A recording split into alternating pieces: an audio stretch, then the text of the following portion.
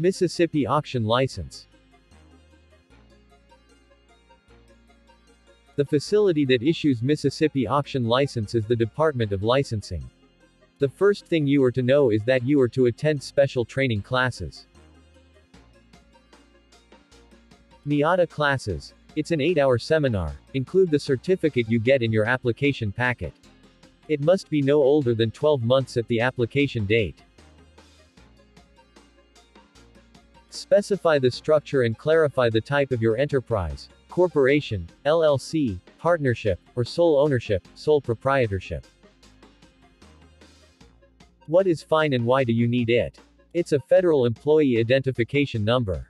You are to apply for FEIN to obtain permission. Location conditions. You should have a permanent place, office, to carry out your activities. No other business must operate there. You should have a sign for your company that has to be clearly displayed. Tax number permit for sales. After, you are to receive a tax number permit for sales.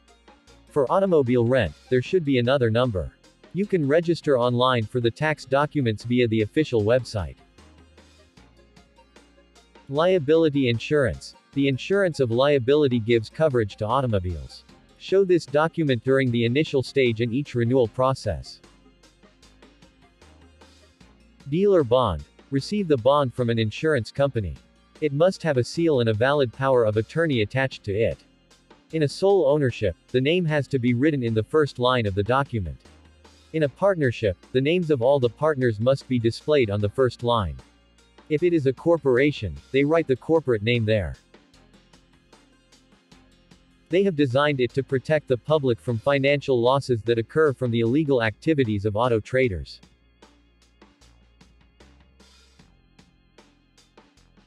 Fees. $100 for certificate, all the types. $10 for application fee, new vendors. $43.75 for dealer tag. $15,000 for bond, the percentage depends on your credit score. $150 to $450 per year for good credit score, 1% to 3% premium rate.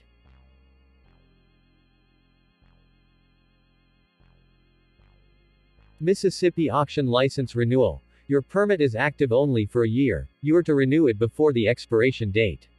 In the case of used and wholesale dealers, you must do it before the 31st of October. Finally, submit your documents to the door including the notarized affidavit and the proof of liability. Mail these to the address mentioned below. MS Department of Revenue, Motor Vehicle Licensing Bureau, P.O. Box 1140, Jackson, MS 39215. Thank you for watching. Visit our website licensesearch.org for more information. Please like and subscribe.